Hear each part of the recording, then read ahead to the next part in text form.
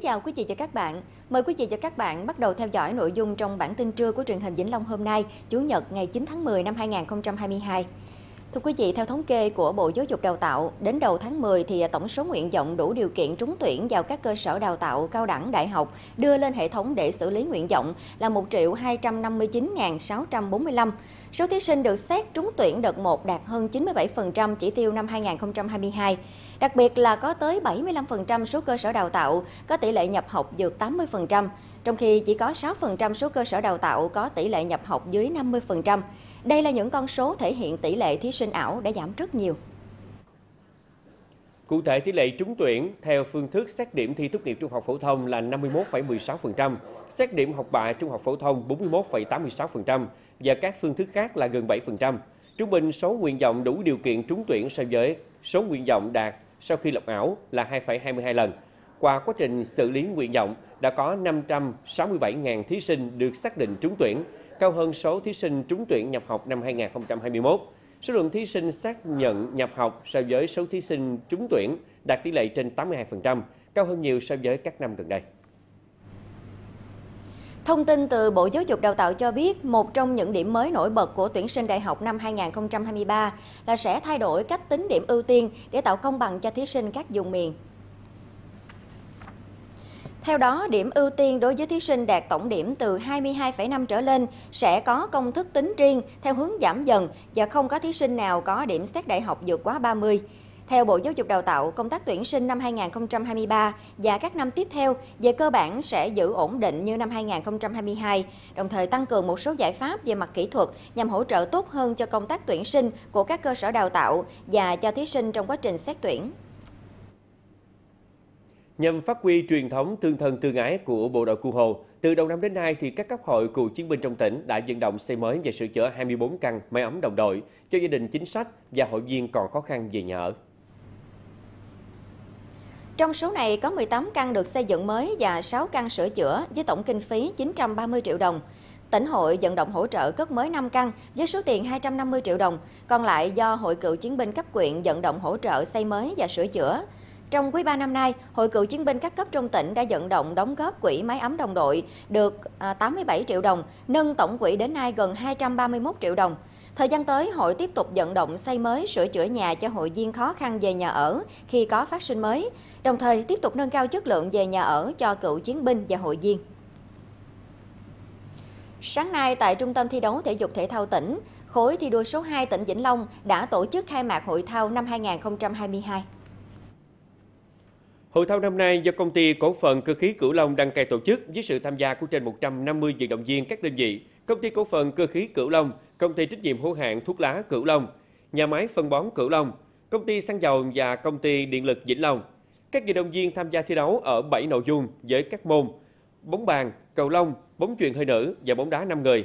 Hoạt động này nhằm khuyến khích phát triển phong trào luyện tập thể dục thể thao của các đơn vị trong khối để nâng cao sức khỏe, hoàn thành tốt hơn nữa nhiệm vụ sản xuất kinh doanh được giao.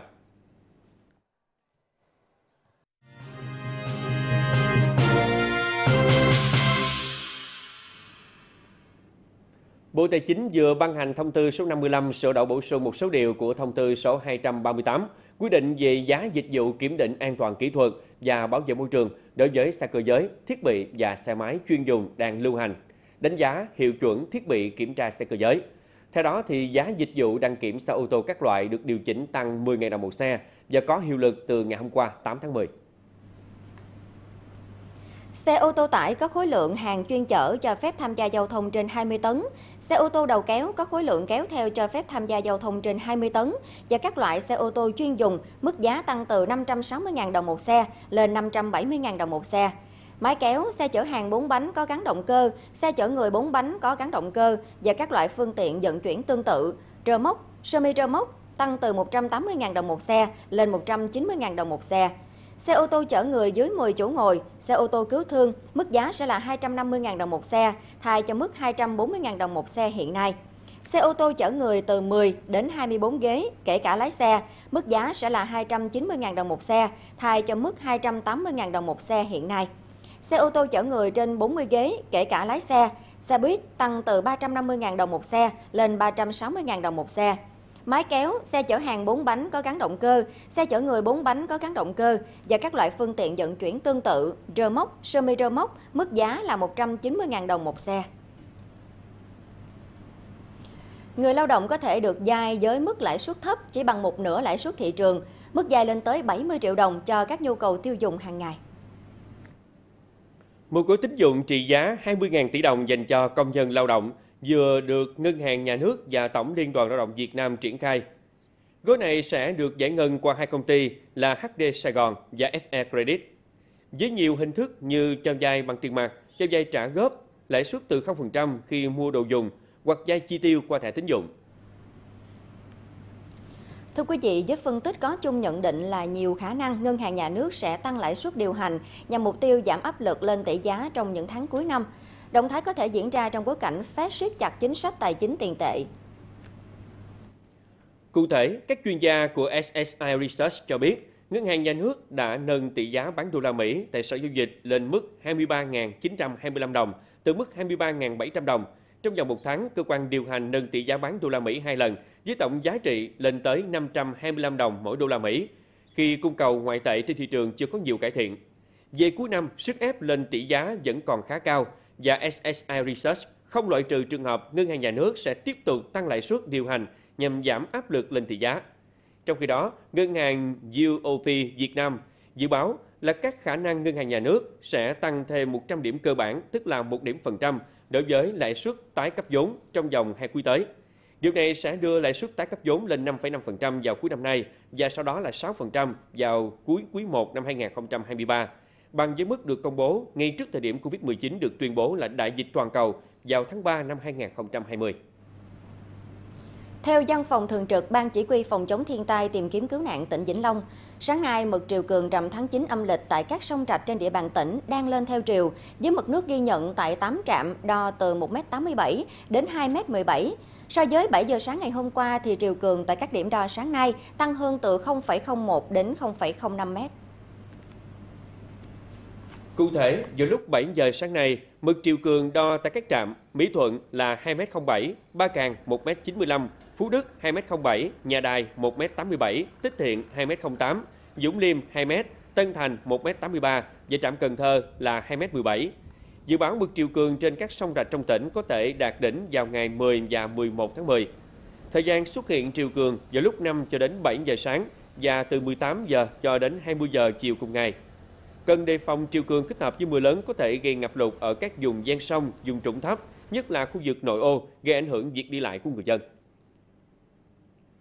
Thưa quý vị và các bạn, bốn xã Cù Lao của huyện Long Hồ gồm An Bình, Hòa Ninh, Đồng Phú và Bình Hòa Phước có nhiều khu vực tiếp giáp với sông Tiền và sông Củ Chiên, đồng thời có hệ thống sông ngòi chằng chịt. Vì trước tình hình triều cường con nước rằm tháng 9 khá cao, các xã Cù Lao, huyện Long Hồ đang nỗ lực thực hiện các biện pháp ứng phó. Ngay sau khi xảy ra sạt lở trên tuyến đê bao giáp với sông Tiền thuộc địa bàn ấp An Long, chính quyền xã An Bình, huyện Long Hồ vận động người dân khẩn trương gia cố các đoạn đê gần đó. Thời điểm này, gần sát ngày triều cường đạt đỉnh, địa phương càng khẩn trương hơn trong việc gia cố các điểm sung yếu. Tuyên truyền người dân là kiểm tra lại các cái bờ bao, rồi là nuôi bè cũng vậy cũng là nhắc nhở bà con là kiểm tra các cái dây neo chủ động để mà mình gia cố trên bốn tại chỗ của mình. Với mực nước đỉnh triều cường rằm tháng 9 âm lịch khá cao, Long Hồ là địa phương có nhiều khu vực kém an toàn nhất tỉnh Vĩnh Long.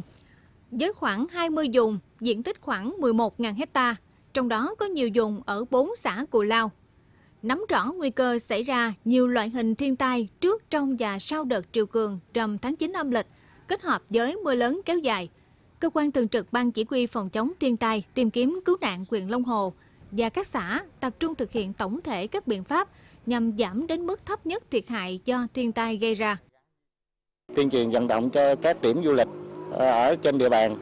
thì ờ, phải là ờ, thực hiện về một phòng chống thiên tai, tiếp tục vận động bà con là trần chống nhà và gia cố các đoạn đê bao yếu khi chiều cường dâng lên. Ban chỉ huy phòng chống thiên tai của huyện đã chỉ đạo cho ban chỉ huy phòng chống thiên tai cấp xã là phải bố trí trực 24 trên 24 và thường xuyên à, khảo sát các cái bờ dùng cống đập mà có nguy cơ à, bị càng hoặc là bị bể. Thì có cái khắc phục kịp thời. Nếu mà vượt sức thì đề nghị à, về ban chỉ chống của huyện để hỗ trợ để chủ động cho cái mưa lớn á, à, thì à, cũng đề nghị à, quỹ ban nhân các xã cũng như ban chỉ huy chống cấp xã đó à, tuyên truyền người dân à, phải bố trí phương tiện là bơm nước đặc biệt là các cái giường chôm chôm mà đang là mùa nghịch Ngoài triều cường con nước rằm tháng 9 âm lịch này cao, Vĩnh Long còn xảy ra tình trạng mưa lớn kéo dài. Trong cơn mưa có thể kèm theo dông, sét và gió giật mạnh. Chủ động thực hiện các biện pháp ứng phó với triều cường kết hợp với mưa lớn sẽ góp phần quan trọng giảm thiểu thiệt hại do thiên tai gây ra, đặc biệt là về sức khỏe, tính mạng và tài sản của người dân.